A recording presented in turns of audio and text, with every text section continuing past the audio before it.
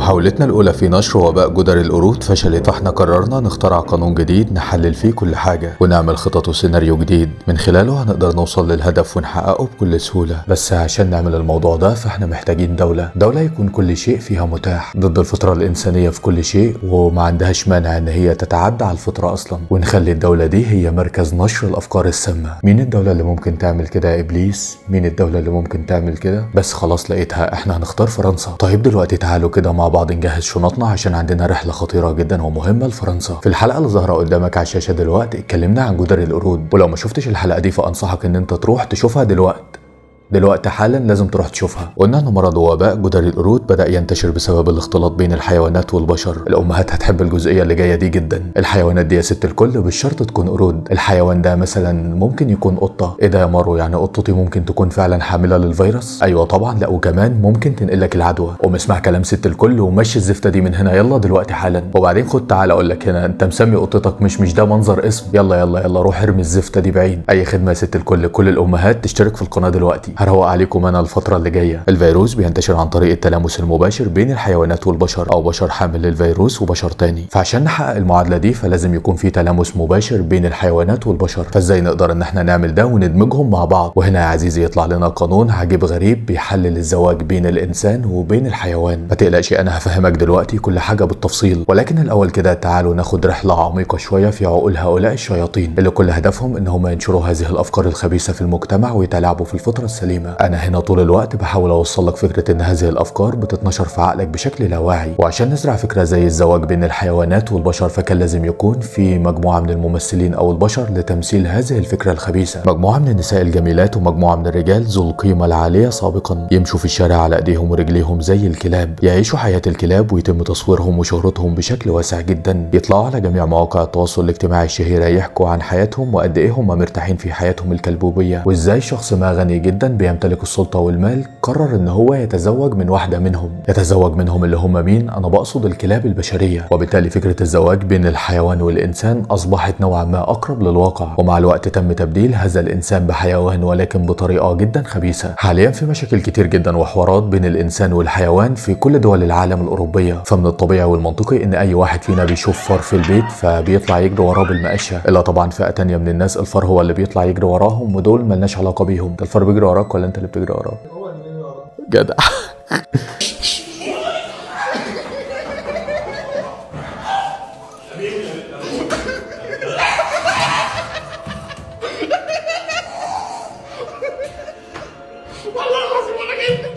طلع قانون جديد في فرنسا بيجرم الاعتداء على الحيوان فباختصار كده لو قتلت فار هتخش النار. القانون دلوقتي بيحمي كل الحيوانات وممنوع تقرب منهم مهما حصل. وده خلانا في الفترة الأخيرة نشوف رعب حقيقي في فرنسا ومواقف عجيبة ومضحكة مع الفئران. تخيل معايا يا صديقي فار حجمه نفس حجم الطفل الصغير. من شدة ثقته في نفسه بعد ما كانت الفئران هي اللي بتجري من البشر بقت الفئران هي اللي بتجري ورا البشر. تعال معايا دلوقتي كده أوريك مجموعة من المواقف العجيبة والغريبة اللي حصلت في فرنسا وخصوصا في الأولمبياد. دي باريس وبرج إيفل العظيم ممكن تشوف وتسمع بكل سهولة صوت الفئران وأشكالهم وأحجامهم الضخمة.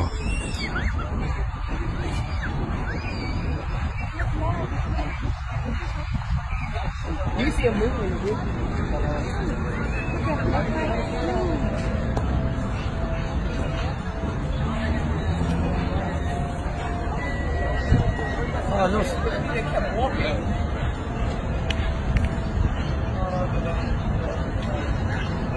أما الفيديو اللي جاي فهنشوف فيه فار بياكل في محل جدا فخم في فرنسا. ولو كنت راجل يا صديقي بس قرب منه.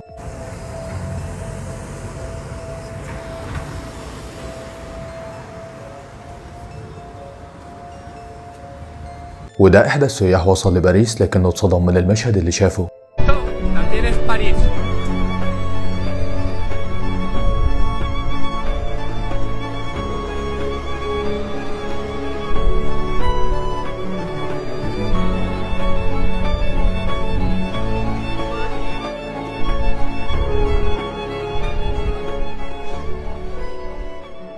الوضع مستفز لأبعد حد فراح الشعب لرئيسة بلدية باريس. قالوا لها الحقيقة الفيران طلعت عين اهالينا فردت عليهم وقالت لهم أفضل حل لغزو الفئران هو التعايش معاها يعني ببساطة شديدة كده في المجتمع اللي انت عايش فيه انت والفار سواسية وهو ده قانون دولتنا. وخد المعلومة دي مني كده عشان تدرك خطورة الوضع. في باريس بيعيش 2 مليون إنسان و5 مليون فار. الفئران اللي كانت سبب في كارثة عالمية وهي الطاعون الأسود. وبعد كل ده بدأت الكارثة الحقيقية تبان والأهداف الأساسية بدأت تظهر. وعرفنا ليه من الأساس كانوا بيعملوا. كل القوانين الغريبة دي. الفيديو اللي انت بتشوفه دلوقتي هو فيديو غريب جدا لفار ضخم بشكل مش طبيعي بشنب أبيض مسن. هو اللي بيجري ورا البشر في باريس.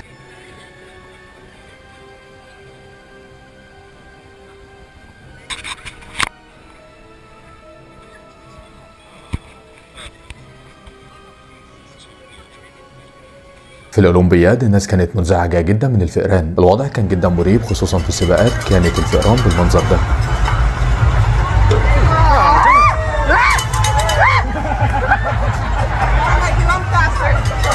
ولو فضلت أجيب لك أمثلة من هنا للسنة الجاية عن هذا الموضوع مش هنخلص. ولكن أعتقد إن خلاص الفكرة وصلت. طب يا ترى كل ده كان ليه؟ وليه فرنسا بتعمل كده؟ كل ده صديقي العزيز من أجل تنفيذ خطط شيطانية عشان نوصل في النهاية إلى تقنين زواج الحيوانات بالبشر. وبالفعل القانون ده في الوقت اللي أنا بكلمك فيه حاليا موجود في دول كتير من الدول اللي بتدعي الحريات زي النرويج مثلا. في النرويج انت قادر على الزواج من جميع الحيوانات بشكل رسمي. ولكن الخبر المحزن إن في بعض الأشياء غير مسموح ليك بالزواج بيها زي مثلا الحشرات والحيوانات البحرية. والدواجن. لا حول ولا قوة إلا بالله. كله إلا الدواجن. واحد كان عينه على حتة دين فرخة على سطح جارنا. يلا ربنا يوفقها ويرزقها بالديك ابن الحلال اللي يصوم بيضها. بربرة صاحبة ال 23 عام هتكون هي أول امرأة تدخل القفص الذهبي. لأنها صرحت بتصريح غريب جدا وقالت سأتزوج في الصيف القادم من رادولف. رادولف هو كلب من فصيلة الدوبرمان. وجدته بربرة من أكتر من عام كان تايه في الطرقات لكنها خدته للبيت وربته وتكون بينهم لحظات ومواقف عاطفية جدا. حب يا صديقي من نوع خاص مش قادر أوصفه لك وقرروا في النهاية إن هم يتزوجوا بربره لقت كلب في الشارع احتضن احتضنته واتجوزته. هو هو. هو هو يلا. Oh, oh.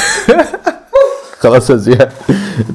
تهوى بكل الأصوات. شوف بربرة عنده صوتين فأنت اختار اللي يعجبك. بربرة مش هي النموذج الوحيد معانا بل إني هصدمك دلوقتي بأربع قصص أغرب من بعض للزواج بالحيوان أو بمعنى أصح الزواج بين البشر والحيوان. في عام 2006 أعلنت امرأة هندية عن حبها لثعبان كان بيعيش بالقرب منها ومن شدة حبها ليه قررت إن هي تتزوج هذا الثعبان وفقا للطقوس الهندوسية. حضر حفل الزواج بالفعل 200 شخص ولكن للأسف الشديد وقت الفرح هذا الثعبان ما حضرش وما قدروش إن هم يعثروا عليه ولكن منظمي الحفل عشان يجبروا بخاطرها فقاموا بنحت ثعبان على شكل الثعبان اللي هي وقعت في حبه. وبالفعل يا صديقي عملوا فرح كبير جدا. راجل سوداني بيدعى تشارلز تومبي. وجد نفسه في موقف صعب جدا بعد انتهاك قانون محلي. بيحرم إقامة أي علاقات عاطفية خارج إطار الزواج. والشخص اللي بيعمل كده أو بيدخل في أي علاقة بالنوع ده مع أي امرأة بيتزوجها رغما عنهم. تشارلز وقع في حب معزة. مارس معاها الرذيله وعرف المسؤولين فاجبروه فعلا على الزواج منها. وبالفعل يا صديقي دفع مهر غالي لملك هذه المعزة. ولكن المعزة يا حرام ما قدرتش تستحمل اللي حصل فيها وماتت بعد سنة. أكيد تشارلز طلع عينيها. المفروض المعزة دي تعمل فيلم وتسميه حياة ال ال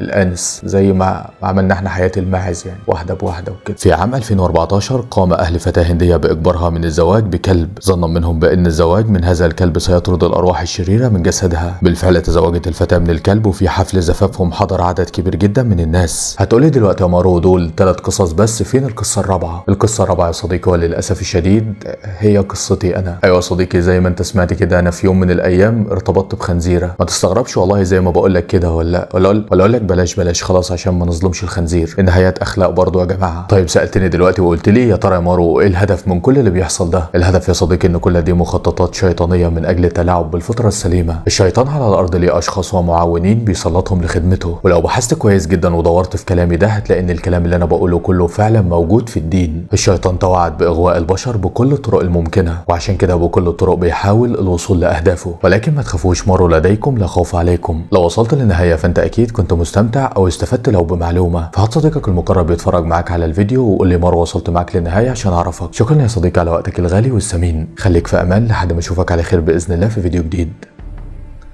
والسلام.